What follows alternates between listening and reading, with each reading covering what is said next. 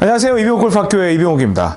아, 여러분들께 오늘 꼭 드리고 싶은 레슨이 있어서 좀 서둘러서 촬영을 준비해봤습니다. 아, 제가 여러분들께 지금 바로 직전에 올린 영상이 저는 골프 스윙을 이렇게 생각합니다 해서 10분짜리 영상을 두 개를 제가 올렸거든요. 그런데 그걸 보고, 야, 도대체 무슨 소리인지 모르겠다라는 분들이 계실 거예요. 근데 그럴 거라 생각을 했어요. 왜? 일단은 뭐 공을 치는 걸 보여드리는 것도 아니고 그리고 자세히 제가 붙잡고 가르쳐 드리는 것도 아니고 그래서 지금 바로 제가 준비를 해봤습니다. 이제 여러분들을 제가 오늘 드리는 어, 레슨 내용은 그 어, 제가 말씀드렸던 이론 설명을 이미 숙지를 했다는 가정하에 제가 진행을 할 테니까 뭐 만약에 안 보셨다면 이 영상을 보시고 나서 돌아가서 아, 보셔도 되고요. 보셨다면 좀 더 오늘 이 레슨이 이해가 쉬울 거라 생각이 됩니다. 제가 그 직선 운동이라고 말씀을 드렸잖아요. 직선 운동. 골프에는 직선 운동이 절대로 없다. 이게 출발점이라고 말씀을 드렸어요. 그런데 우리가 레슨을 받을 때는 똑바로 빼고 들고 끌고 내려와서 임팩 맞은 다음에 타겟 쪽으로 던진다는 이러한 레슨 속에서 여러분들은 이러한 로보트가 되어가죠. 이런 로보트가 되어가죠. 그래야만 한다고 믿는 거죠. 만약에 이런 내용이 아니라 그냥 원으로 그냥 뒤로 돌리고요. 이게 돌리세요. 만약에 이러한 레슨을 처음에 받았더라면 몸이 조금 공은 못 맞출지언정 몸이 좀 쉽게 느꼈을 겁니다. 자, 그럼 이제 제가 말씀드렸어요. 골프 스윙에 절대로 직선 구간이 없다. 그건 제 생각입니다. 그 전제하에 시작을 합니다. 그럼 이제 원심력은 뭐냐? 원심력은 제가 지금 여러분들 보시는 것처럼 이게 섰지만 제 중심으로 해서 일단은 제가 보이는 반경선에서 이렇게 반원 운동을 한단 말이에요. 그냥 원 운동이에요. 백스윙 시작하면 이렇게 길, 일자로 제가 이렇게 빼면 이건 이건 직선 운동 맞아요. 이거는. 그런데 제가 옆에서 이렇게 뒤로 빼기 때문에 이런 곡선 운동이 되죠. 그러면 제가 원 운동을 하고 원 운동을 하면 이런 식으로 오른쪽으로 밀리는 원심력이 발생을 한다는 거예요. 그래서 그냥 원 운동이 시작이 되면 원심력이 발생을 하는데 그냥 우측으로 밀리는 힘은 원심력. 그런데 이제 이유는 몰라. 근데 선생님들이 로테이션을 해야 된대요. 로테이션 이렇게 손을 감아. 그래서 손을 이렇게 일찍 감았더니 공이 완전히 뭐 터무니없이 왼쪽으로 갔어요. 원운동인데 내가 돌리는 것보다도 훨씬 더 왼쪽으로 갔어요. 이건 내가 인위적으로 만든 겁니까? 아니면 자연적으로 생긴 힘입니까? 맞아요. 내가 인위적으로 만든 힘이에요. 그래서 이건 구심력이 되는 거예요. 원심력은 그냥 세게 빵 치려고 하면 원에 의해서 우측으로 밀려나는 자연적인 자연적인 힘인 거고요. 내가 원운동을 함에도 불구하고 너무 많이 감아가지고 왼쪽으로 공이 이렇게 나가는 건 내가 인위적으로 만든 구심력이라는 거예요. 이제 개념 정리는 되셨죠? 그럼 지금부터 제가, 물론 굉장히 디테일하게 이해가 되시게끔 앞으로 계속 설명드릴 겁니다.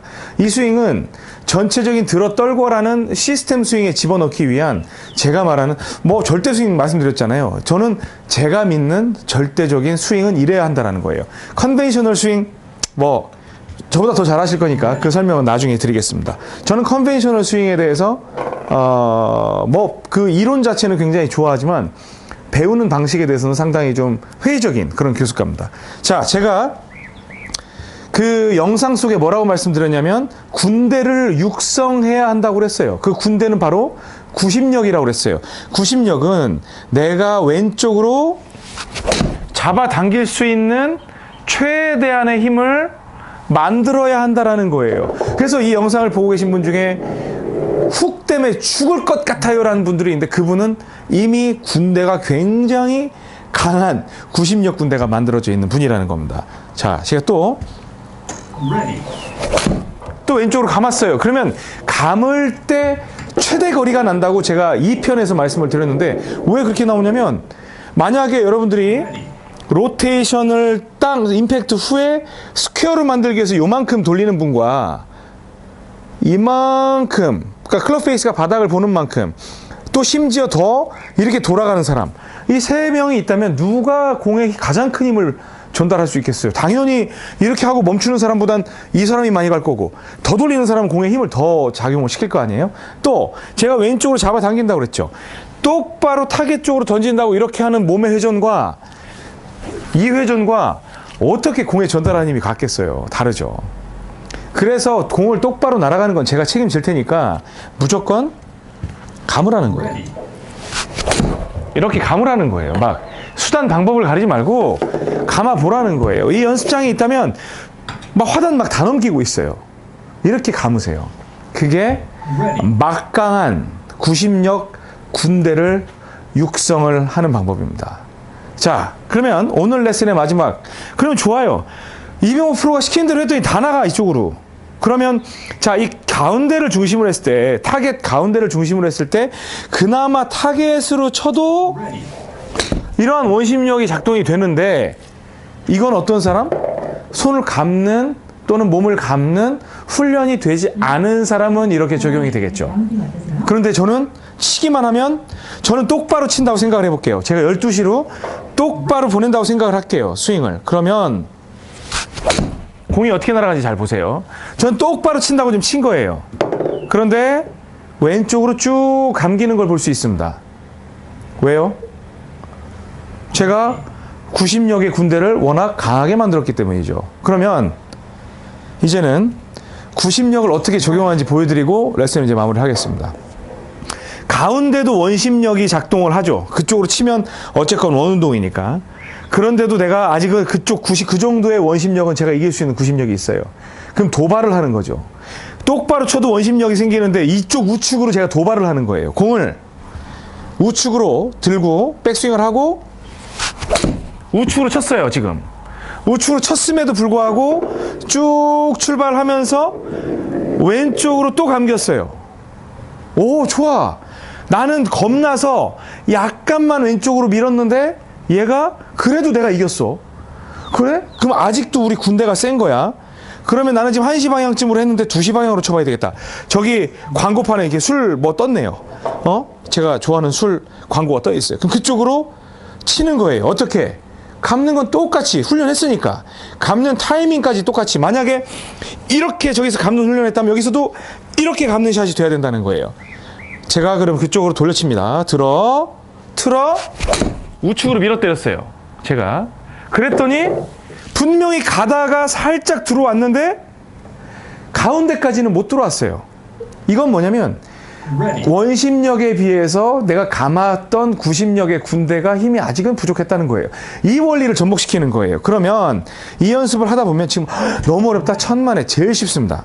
여기에서 감는 게 되고 우측에다가 치는 훈련을 계속하게 되면 공이 쭉 돌아서 센터로 들어오는 걸 볼 수가 있어요. 또 저는 분명히 똑바로 친다고 하면 왼쪽으로 갑니다. 그런데 지금 라인 보면요. 완전히 라인이 날아간 라인과 올라간 라인과 떨어진 라인이 일치되는 똑바로 나가는 것처럼 보인다는 거예요. 제가 말씀드렸죠.